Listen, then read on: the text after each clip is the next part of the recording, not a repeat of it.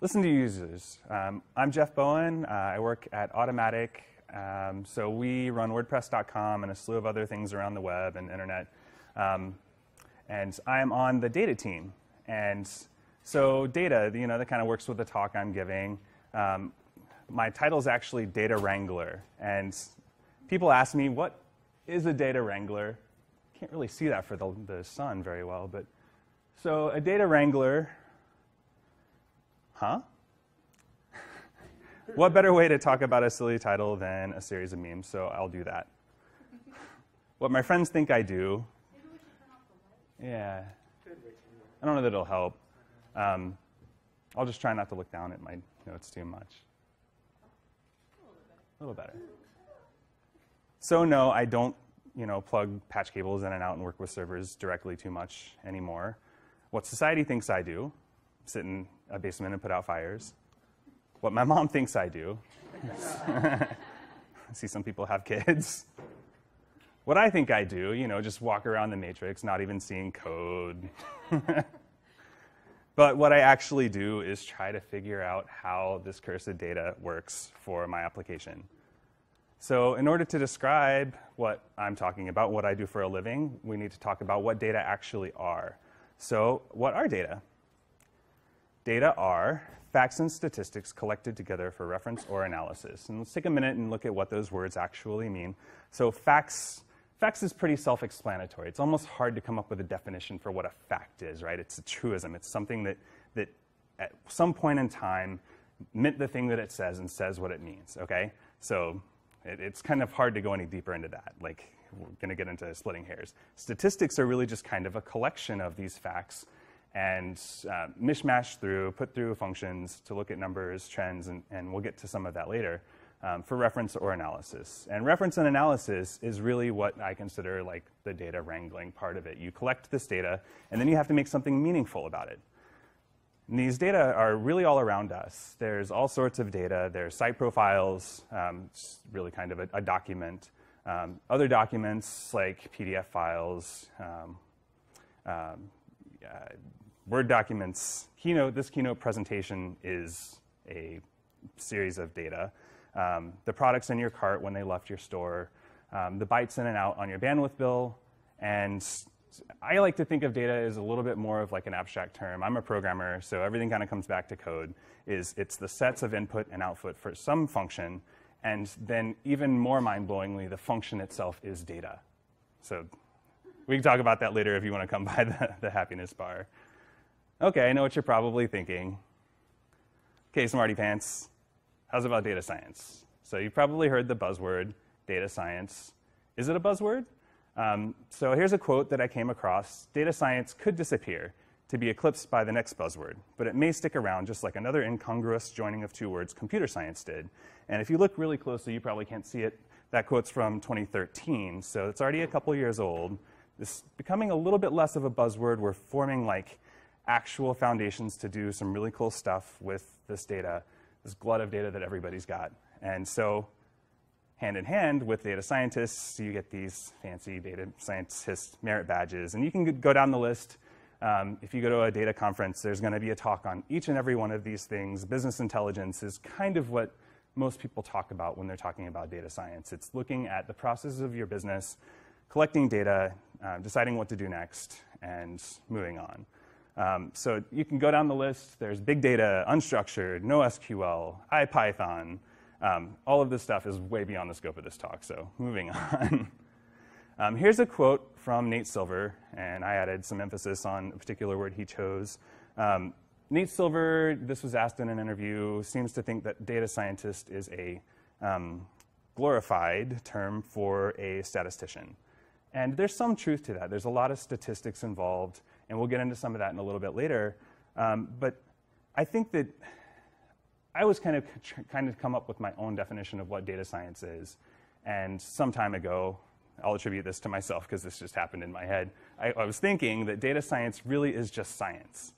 So kind of think back to fifth grade science. You've got your little notebook and you're taking notes meticulously every step of the way. You're trying to reproduce an outcome and build a set of data body to come to some conclusion.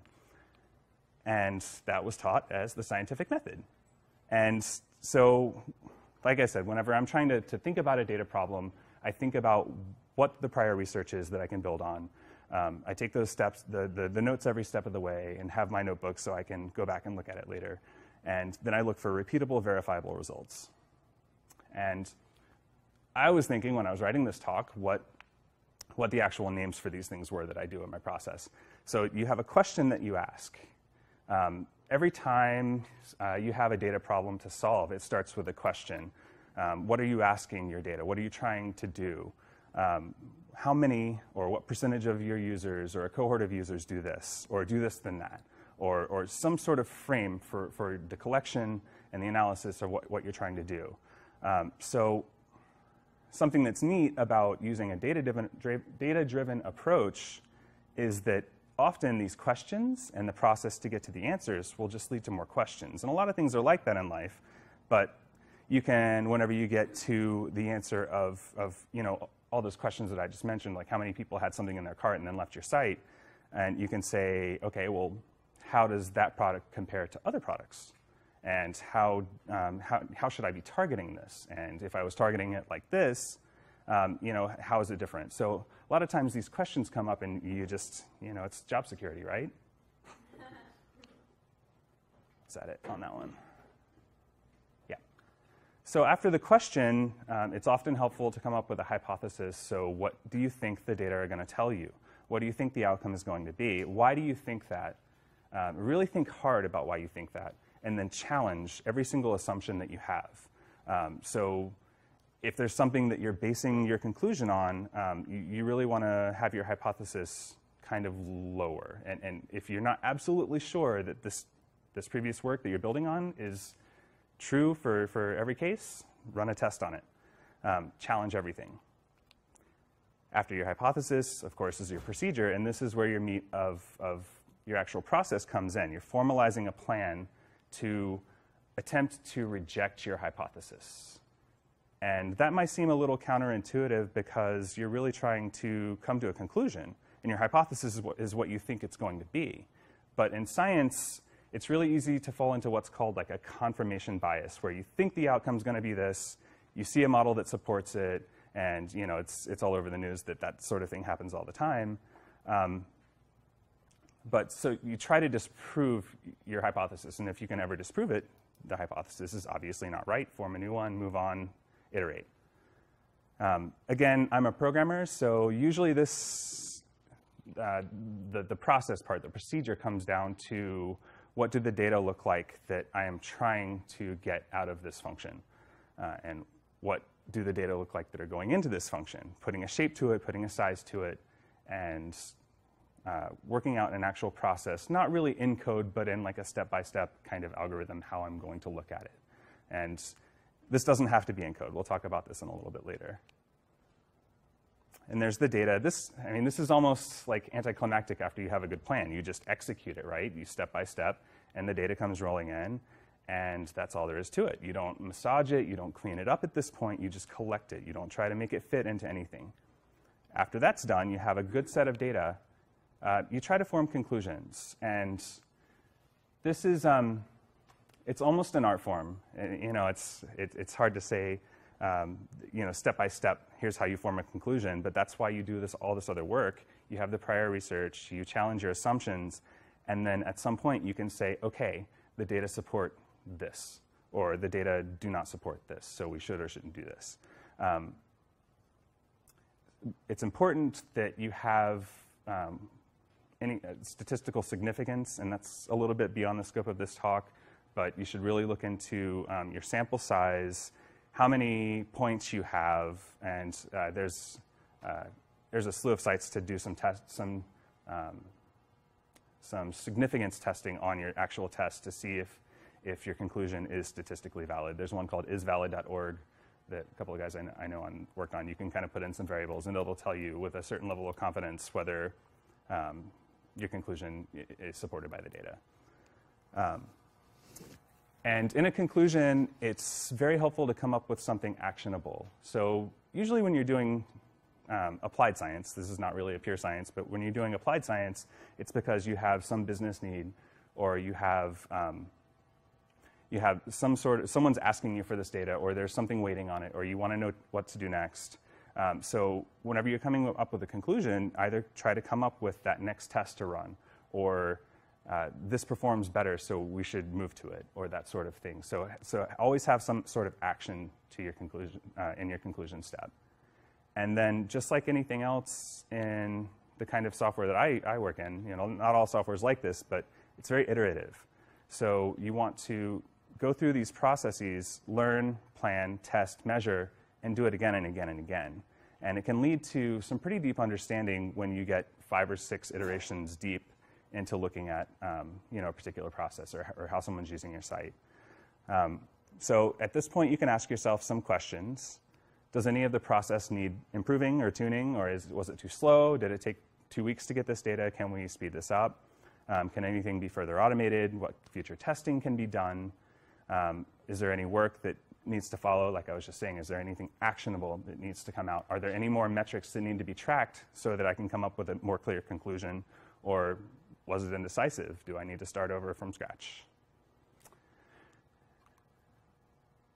And with great power comes great responsibility. So we've just kind of gone through a process of, of talking about how we're going to run experiments on real live people sitting on the other side of the browser, okay? So in an academic setting, anytime that you do an experiment on a live subject, there are like um, formalized processes for making sure that, that ethical guidelines are followed, that animals are treated um, humanely, that humans aren't being subjected to some ridiculous you know, stressors or something like that in psychologi- psychological experiments. Um, in data collection and on the web, there's not really like a hard and fast rule that you have to do this. So uh, every time that you run something like this, deeply consider what it's going to do to them um, on the other side. Are you, are you crippling your website intentionally to see if a feature was bad or something like that, if, if it gets used? What if someone was using that feature? Um, Facebook was just in the news, I don't know, eight months ago or so about that they were intentionally trying to depress their users. Now, I don't know if I buy that, that they were intentionally trying to depress their users, but I do think that they were doing, using sentiment analysis and trying to discern you know, the actual um, mindset of their users while they're using their site because it's very useful information and they can kind of drive um, the kinds of posts that they see if they can figure out the kind of frame of mind that you're in when you log on to Facebook that day. So it's just all of these things um, that you need to keep in your head whenever you're creating an experiment that involves real people. Um, and it's not just ethics, um, there's also legality at play. For example, if your website is viewed in the European Union, there's um, specific rules on what you can keep long term in your logs about what people do, the data that you can collect and keep.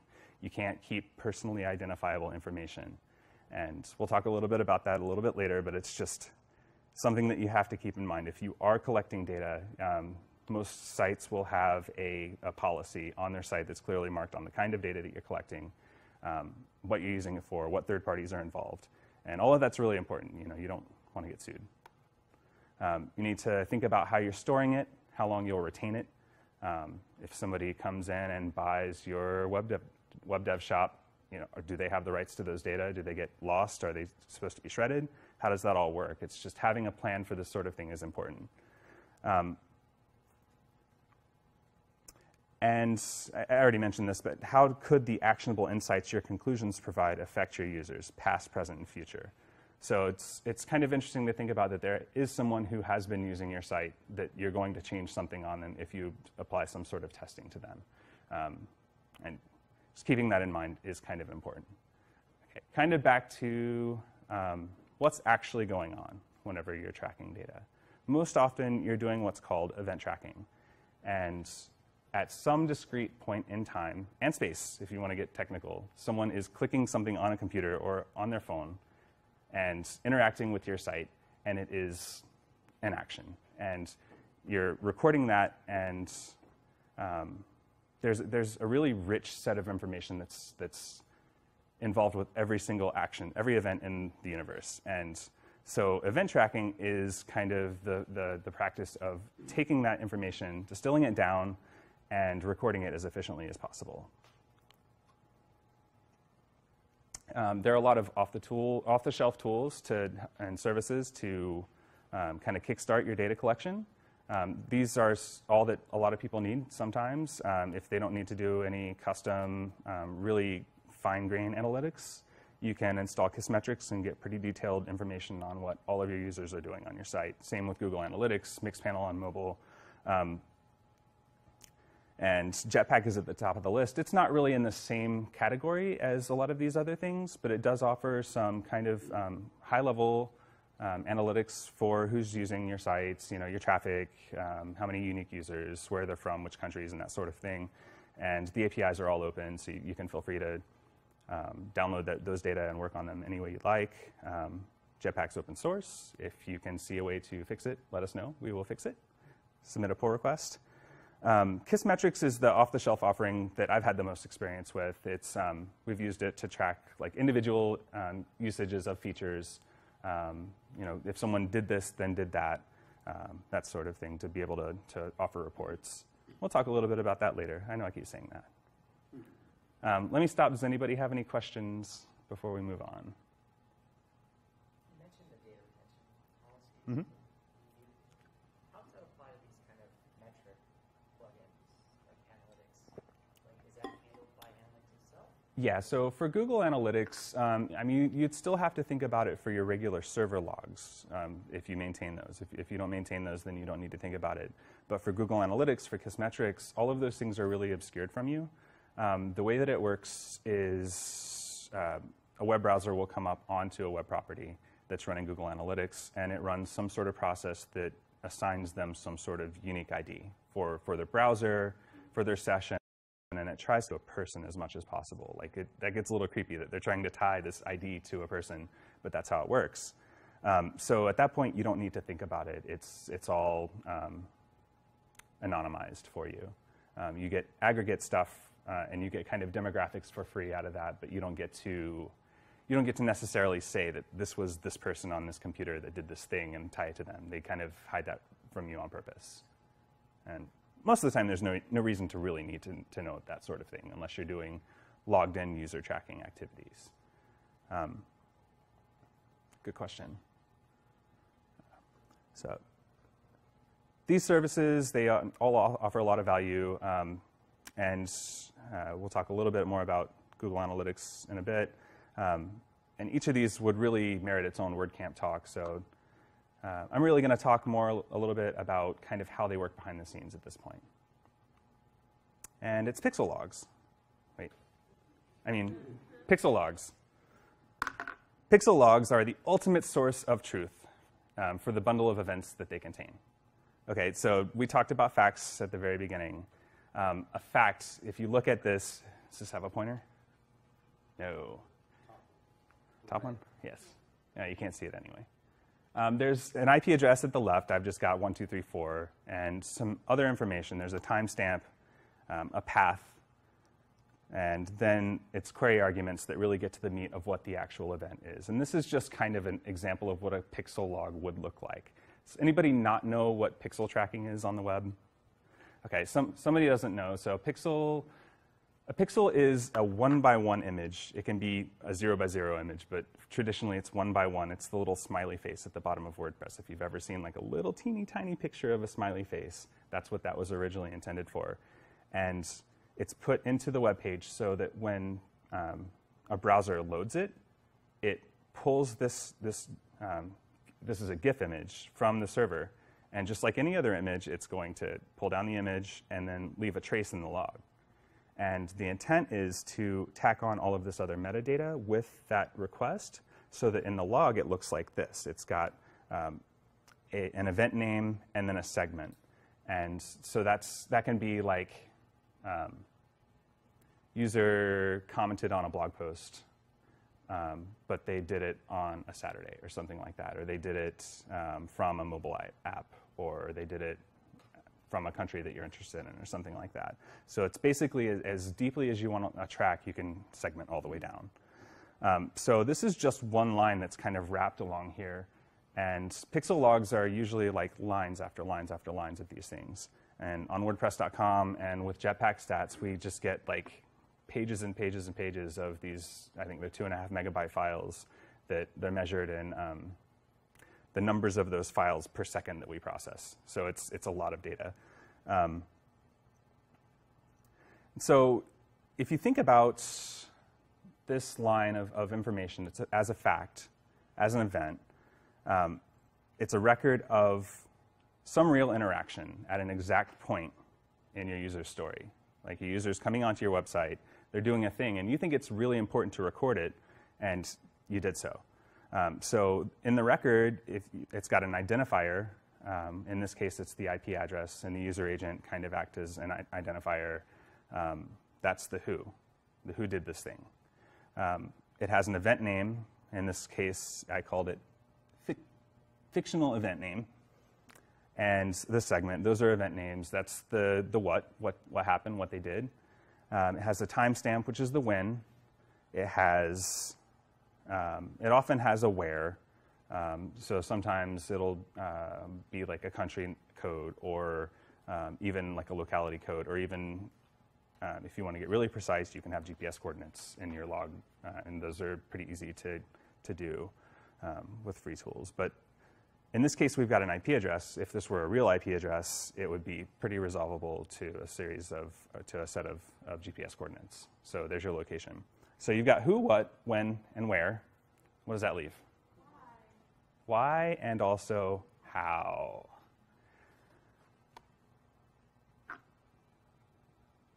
Uh, we'll get back to that later. I keep saying that. Good thing I have a lot of time, right?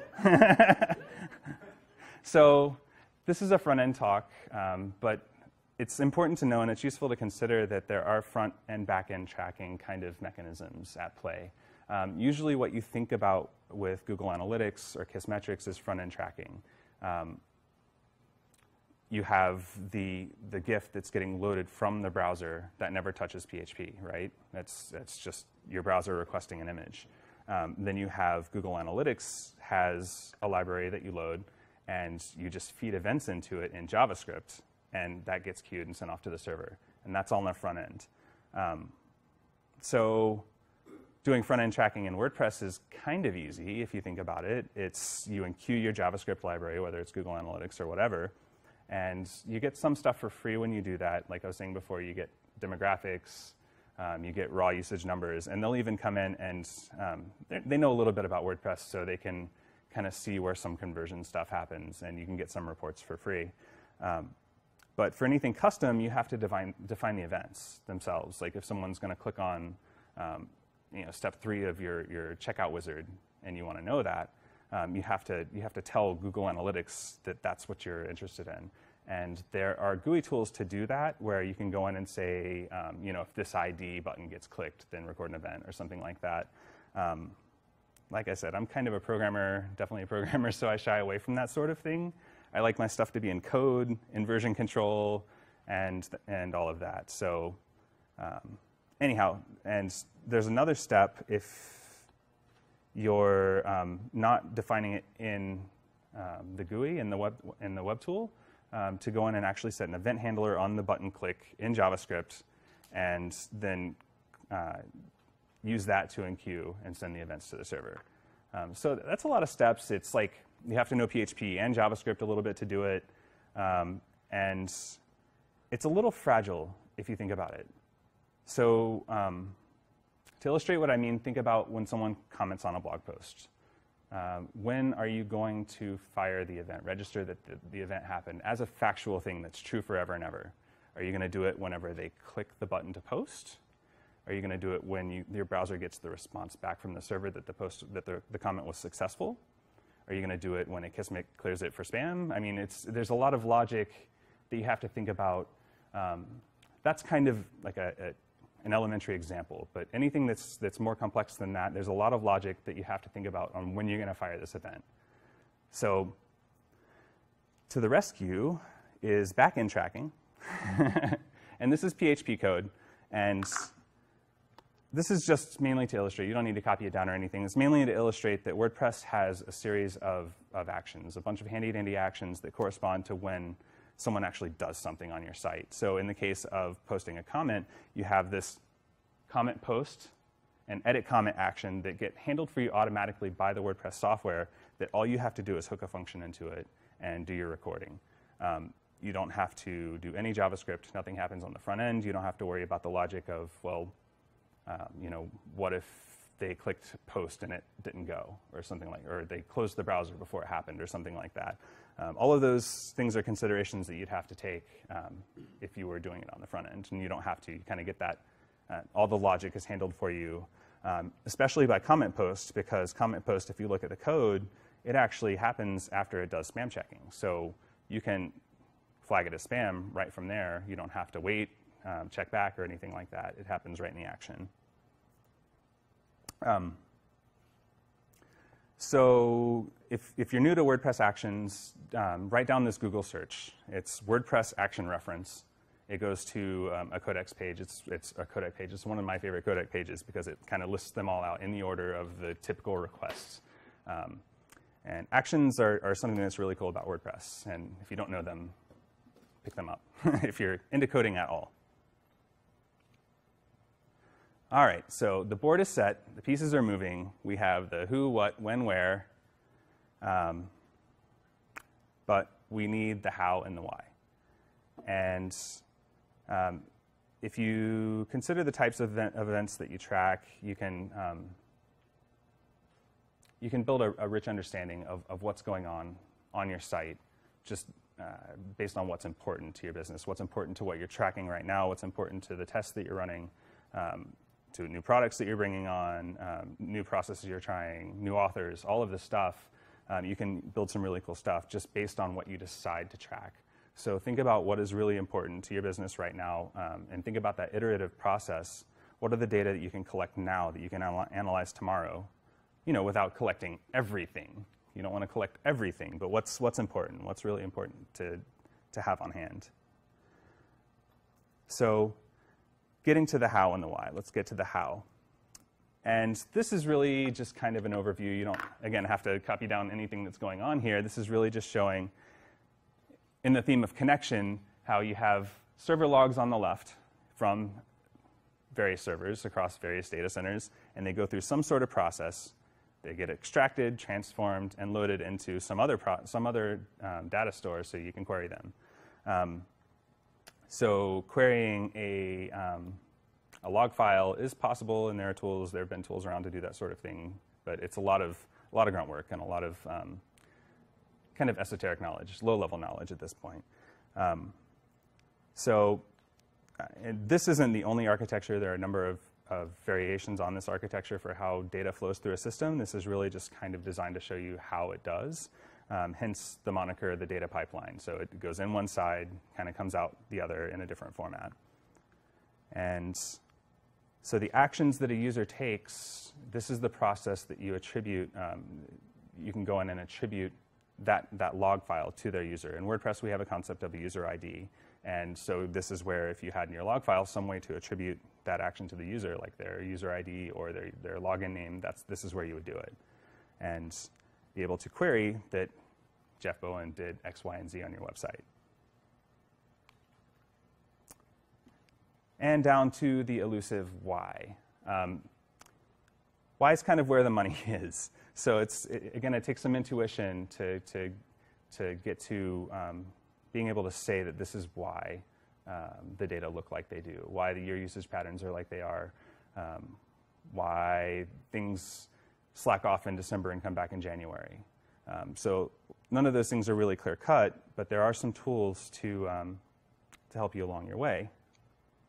Here's a really awesome formula. You should definitely write this down. There's going to be a quiz. This, this is for, um, for the R value. In statistics, an R value um, is what you use for a correlation. It's, it describes a relationship between two data sets. And let's see. Uh, it's a description of, of how dependent two variables are. Um, in other words, it's um, as the magnitude of value x changes, is there also a measurable change in series y? There. Blow that away. This is a much easier way to look and reason about correlation. Um, these graphs are what you call a scatter, scatter plot graph. Um, and these are describing on the left, you have a perfect positive correlation, and this is a linear correlation. That means it just goes in a line. And you can see that the dots are all kind of close to a line through your data. They kind of form a pattern. Linear is not the only pattern that you're looking for. There's also sinusoidal, I think I said that right, patterns through your data that look like an S, um, depending on, on what you're looking for. Um, so you can see that on the left, those have a perfect correlation. Everything's on a line. Um, you can definitely say that these, these data sets are correlated um, with a, a, a high uh, factor. And then they get looser and looser related as you go towards the right. The, the, dots get further apart. And if you look at the bottom, um, you've got 1, 0.8, and 3, and, or, or 0.3. And as this tends towards 0, the dots just fill the space. They're everywhere. You can't, can't discern any sort of pattern. Um, I think it's interesting to look at, at scatter plots like this because humans are really kind of ingrained to like find patterns in data. You can, you can look at the one on the left and intuitively uh, reason that those are on a line without having a line going through it. But it's important to know that correlation does not uh, imply causation. So this is from Spurious Correlations website. There's a bunch of these. One my favorites are the ones with Nicolas Cage.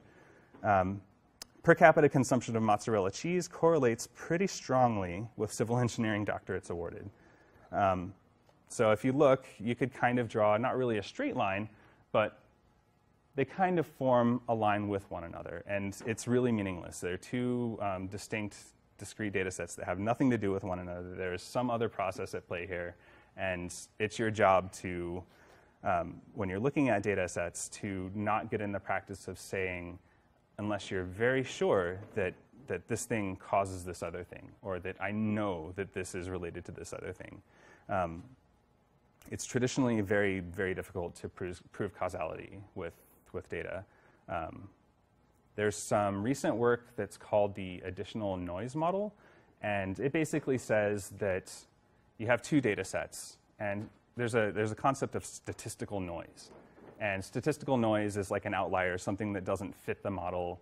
Um, so this, this, this theory, this work that, that people are writing about now is that if there is noise on one side, that you manipulate the noise, then you can see an artifact of that on the dependent variable. And what that means is that if you fiddle with things here and you change things here, there's definitely a causal relationship that direction. But Vice versa, if you fiddle with the statistical noise on this side and you don't see something on the other side, you can definitely tell that the arrow goes that way. So that's it's very cutting edge and it's not really proven yet. So unless you are like a deep, deep statistician, you want to really shy away from like saying that something is the cause of something or that you absolutely know that this is why this is happening. You can just say that the data support it. And these are the actions I think we should take. Um, these are the steps that I'm going to take to validate that the, that um, that step was the right step to take.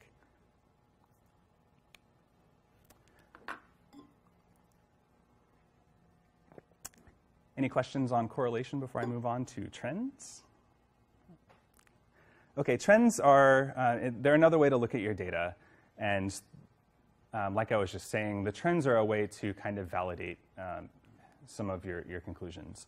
Um, if things continue on a trend or you change a trend, you can use that as supporting evidence that, um, that your conclusion that the causality, the relationship you're trying to prove is, um, is, is, is, more likely to be correct. Um, so if you look at this data set, this is um, a feature launch on WordPress.com. And probably can't see it all the way at the back, but it kind of starts out little ticks here. That's internal testing.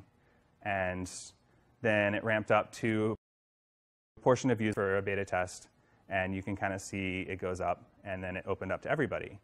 And um, these are what you call a time series data. If you look at the bottom axis, axis um, everything is a date.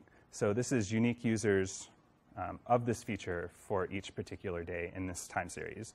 And they're plotted on an XY graph. Um, the green, lots, green line and dots represent the measurements for the given day. The blue dashed line that you can see kind of running underneath is that's what you call a trend line.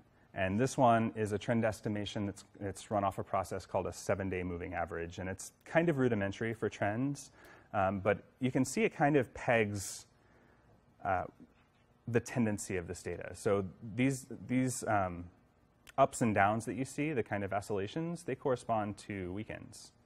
You can see they dip down on Saturday and Sunday. And interestingly, it's a little bit more on Sunday and then up on Monday and then back, um, back down. But the trend line smooths that out. You can get a kind of a better idea of what your, um, saying average is a, is a funky word to use with statistics, but you can, you can kind of tell what the, the um, expected usage is over a period of time. And it even lets you form a little bit of a predictive model about um, if you look at the right side, you can kind of guess what's going to happen um, if nothing changes. That you can kind of guess that this is going to look kind of like that. It's probably eventually going to level out. Um, all of those things are guesswork, but it, it's, it's a rudimentary prediction, uh, predictive model. And there's all sorts of trends. You can get really, really deep into the statistics of trends. And um, like I said, this is a seven day model. If you were to change it to a three day model, you would start to see the dips in the average. It's a little bit straighter because it's spread out over seven days. And the way that that works is you take the value for here and add it, add it, add it, add it, and then average. You get the arithmetic mean. And then you do that for the next day and do the same thing over and over and over, and the last one falls out.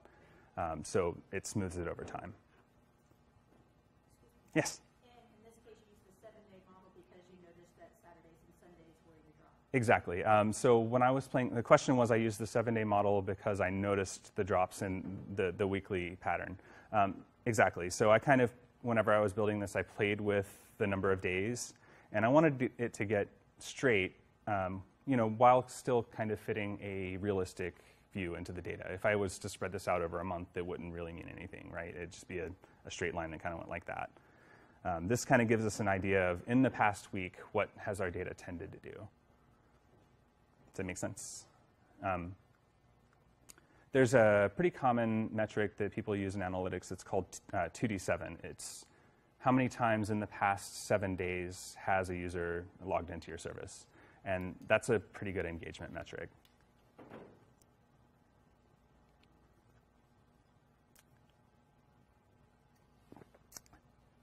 This is a very simple funnel. And if you haven't heard the word funnel before, you can kind of think about an actual funnel that you use to pour liquid into a jar or something like that. Um, it's big on one side and small on the other.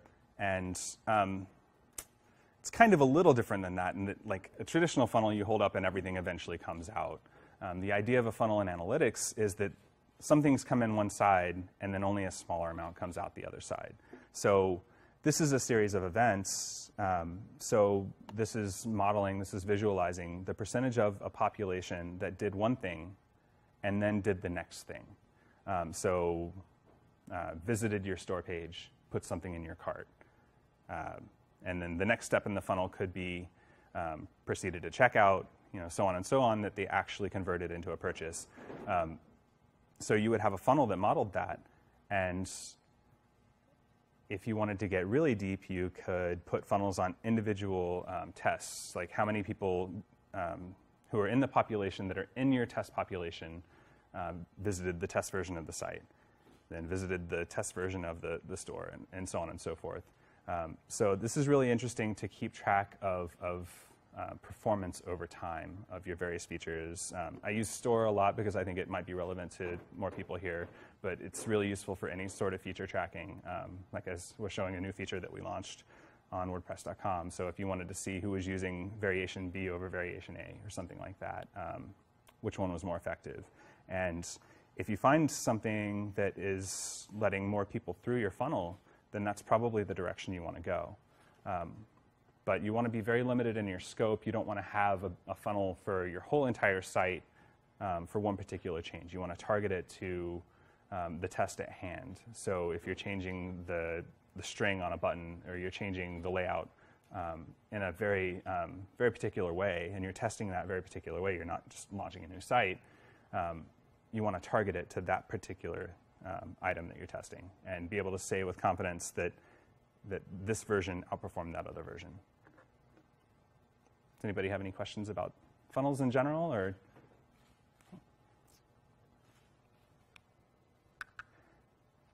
And one of the last kind of um, statisticsy tools that I'll talk about is cohort analysis. And what a cohort is, is just a group of some users of your population. Um, this is kind of hard to see on here, but the lines, the, the, um, the, the, the, the, key says that each of these colors responds to uh, month of retention. Month zero retention, month one retention, month two retention on up. And so each of these uh, groups of users is starting at the same time, but they're in a different group. Um, yeah, I don't think that's right on the bottom. So um, they have actual dates at the bottom, but you would say uh, first month, second month, third month based on the date that you started. So I would say the group, this, well, that group started, you know, in this week, and this group started in that week, and that group started in the other week and how did they last over time. Um, so it really lets you um, kind of focus your tests on um, what a user is seeing on your site at a particular time because you don't really want to test a feature against users that are coming on when your layout is significantly different than it was two weeks ago. Like the test of this button text isn't going to be um, valid if the button's also over here and hidden by a, you know, a couple layers of UI. Um, so you really want to make sure that your cohorts are seeing as similar of an experience as possible. Um, and that'll help you that'll help you really focus in on changes at a given period of time. And sampling, this isn't really that big of a concept. It's pretty easy to think about. If you have a bunch of data coming in, and it's impractical to, to basically record all of it, um, you need to come up with some sort of plan for recording the portion of it that you need. You want to be fair, you want to be random, as random as a computer will let you be, um, but still kind of be able to come to some conclusions. So um, I mentioned st statistical significance earlier. You want to make sure that your population size is, is big enough that you're going to be able to make some claims from the results. Um, and you kind of want to make sure that you're sampling the same way over and over and over. Um, so going back to fifth grade science class, I remember that science experiments, you're supposed to do things three times. Um, it's not really a hard and fast rule in science, but you are supposed to make, your, make sure that your results are um, reproducible. And part of that is having um, a sampling procedure that is also reproducible and reproducibly um, random each time. So something I like to do, um, again, going back to um, WordPress user IDs, um, you can do what's called a modulus and just get the user IDs that end in zero or something like that, or the user IDs that end between zero and five would be half of the users. Um, if you just get the user IDs that end in zero, that's going to be 10% um, of your, your, users. So you don't really have to do any extreme math to, to um, figure out. You can just say, does their user ID end in zero? Okay, they're a member of this, this sample. And kind of going back, this is, um, this is one of my last slides. This is um, kind of a tangent on the ethics topic. Um, so whenever you're listening to your users and you're trying to discern what they're telling you, you're doing an experiment, and you're often doing it to try to drive engagement, to try to to push one behavior over another, right? And again, with the, the ethical questions is you have to think about, you know, what, what's it going to take to push the user from the left side where the triggers fail to the right, to the upper right side where the triggers succeed. Um, this is a behavior model um, that uh, it's BJ Fogg is a, a, college professor, I think at Stanford, who has this behavior model. It's behaviormodel.org. And what it basically says is that the probability of, of, of any um, action happening, any behavior happening on your site is the product of um, MAT, B equals MAT. So M is the motivation. What's, what's kind of getting them to, to click that button?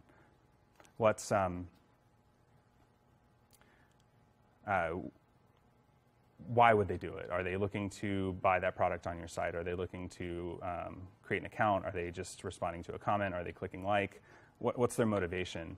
Um, a is their ability. How easy it is is it for the, them to do this thing? Does it cost them money? Does it cost them effort, cognitive or or otherwise, to, to do this thing? If the button's right in front of them and they click it, that's really easy. They have the ability to do that. Or um, you know, just typing a key on the keyboard is pretty easy, but if you hide it uh, five layers deep in your UI, um, that lowers their ability to do it. And then triggers. Um, trigger is just at any point in time, you are kind of putting this in front of them. So you have to have all of those three things for the behavior to occur. You have to have the user's motivation, they have to be able to do it, and then you have to prompt them to do it. The button has to be there. Um, and this is a graph of what it looks like. On the left side, the action doesn't happen. On the right side, it tends to.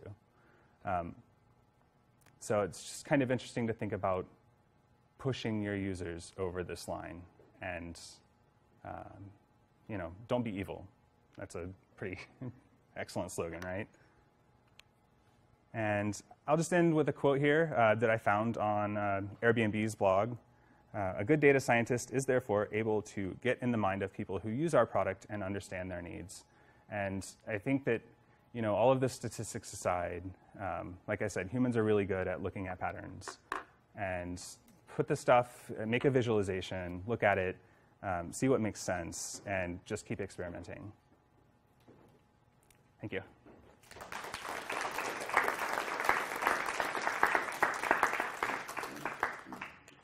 Yes.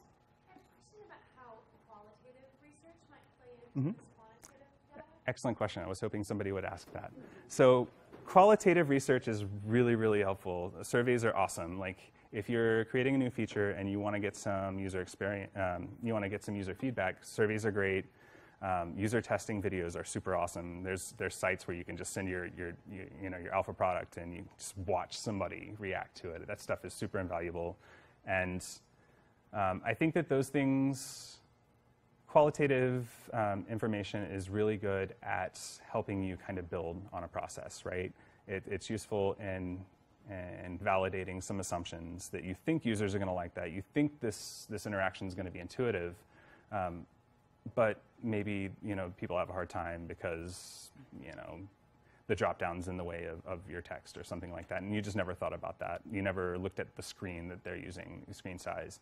Um, qualitative research is great. That answer your question? Cool. Well, thanks everybody.